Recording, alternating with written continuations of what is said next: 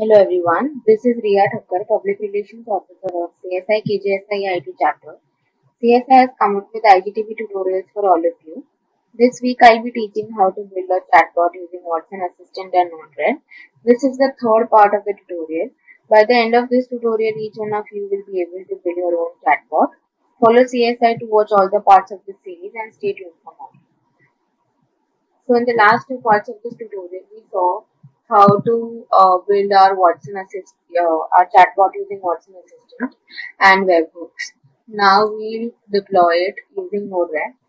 So uh, you search Node-RED app and then uh, you can visit app URL. Then you will land on something called Node-RED Flow Editor where they'll ask you uh, ID password to login and then you will land on these flows. So I have created some sample flows. This is a sample flow for uh, how to integrate Watson Assistant with Telegram bot.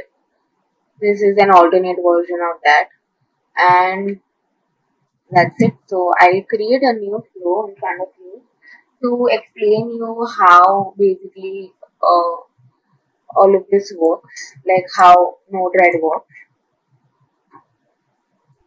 Before getting started, just visit here in the Manage palette and install Node-RED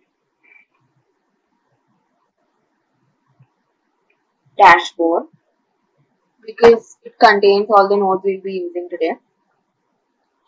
Uh, this Node-RED dashboard is already installed uh, in my app, but you'll have to install again. Uh, so here let me uh, explain you how uh, basic inject and debug also the form node works.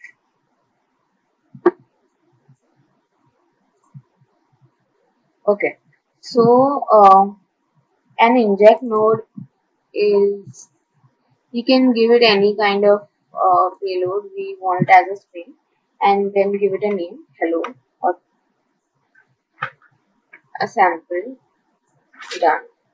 And then this is the payload. Basically will give you your output. So let's do this. Right now let's delete this we'll connect these two. So these are small bubbles kind of thing which can be used to uh, connect two nodes together. So we'll deploy our uh, flow from here and click on the deploy button and here we'll inject a hello. So you can see that uh, this hello is given as an output Now we see the form node.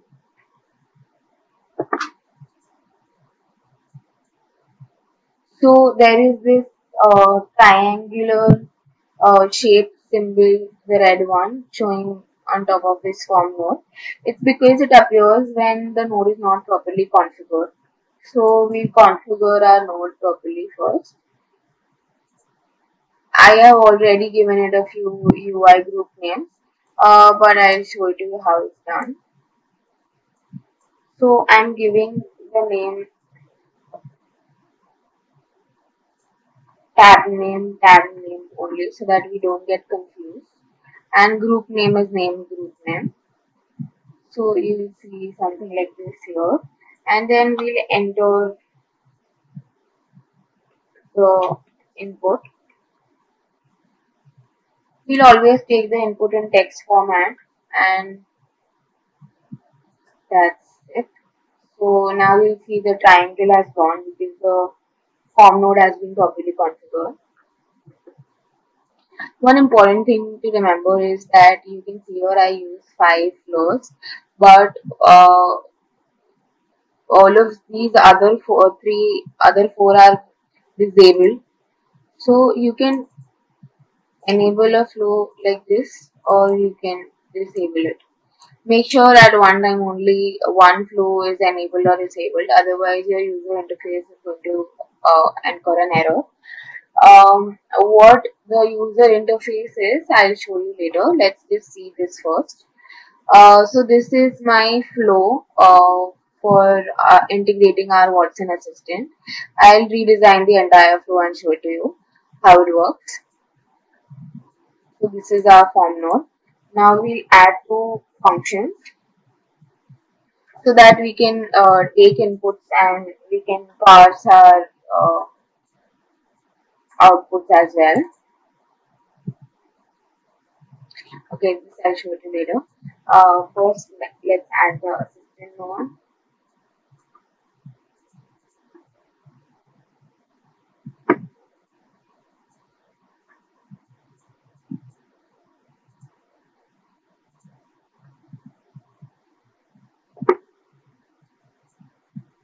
And two text nodes one is for uh, accepting the user's request and the other is for giving the bot's response. So one will act as an input and the other one will act as an output node obviously. Uh, so what we'll do is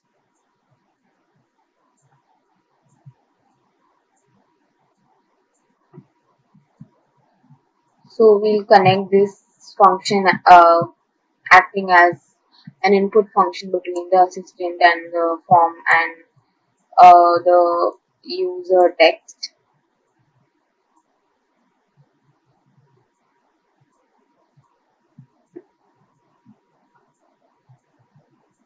And this function will act as a parsing function between the um, text provided by the bot given by the assistant. So now let's edit our function message dot hello equals to message dot hello dot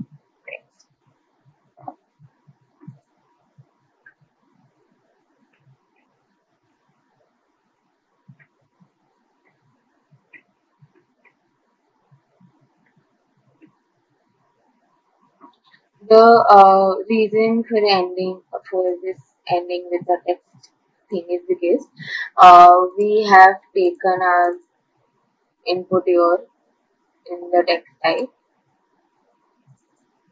So label this as you I prefer this layout so I'll choose this one. Okay, this is the most important part. Please look carefully. Here uh, the workspace ID is where you will be going to your skills tab. Okay, uh, so take any skill. I'll just take the standard one, my first skill. You can use our weatherbot skill as well. So your we view the API details, the skill ID, copy the skill ID and paste it in the place of workspace ID. Now for Watson API key and service endpoint, search Watson Assistant here and before launching the Watson Assistant, you land on this page. Here the API key, copy the API key and paste it in place of API key and copy the URL and paste and paste it in place of service endpoint.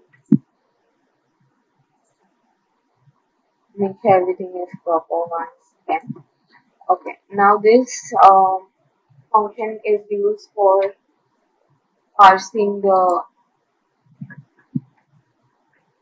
text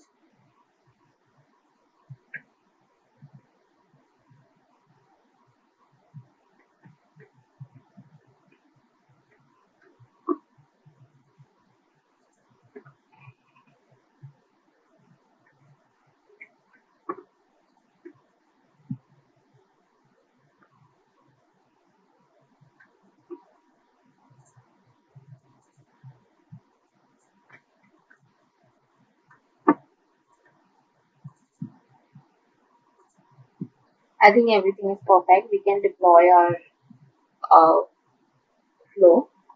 Yeah, but make sure you disable the previous flow again.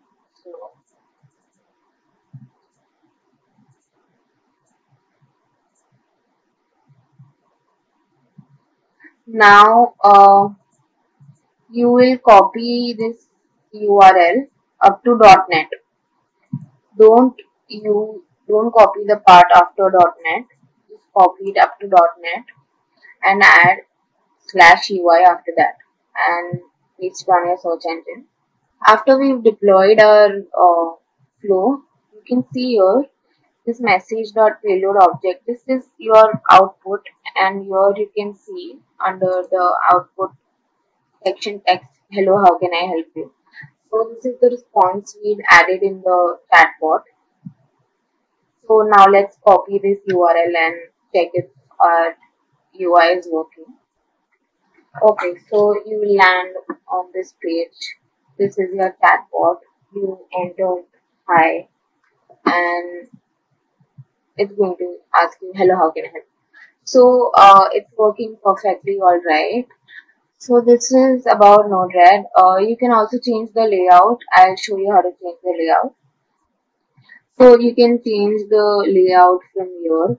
Okay. Uh, in case there is a blank page occurring when you uh, deploy your uh, flow and then you know copy paste this URL, then the reason is that your chatbot will have a disturbed flow, as in it might it might be form bot you or you bought form or something like that. Then in that case you can change your uh, flow like this. It always has to be form you bought and then you can deploy and run again, and then you see it's going to appear. So you can change your themes and layout from here. You can change the layout by clicking on tab name and then you get something like a pen symbol name uh, right next to layout. Here from here you can change the width and uh, whatever changes you want to make you can do that. Similarly you can change the color from here and choose whatever you like all of these functions. You can also change the date format and the widget size and spacing, group padding, everything. You may or may not choose to show the title bar and menu and all. So it totally depends upon you. You can make all the required changes, deploy your bot again, and then just run it. So that brings us to the end of this tutorial. I hope all of you learned how to make this chatbot, I recommend. Um, this is our final product. I recommend each and every one of you to try it as soon as possible. And uh, after making this weather chatbot, you can also try making something like a COVID-19 chatbot, which I had also made and it was really interesting.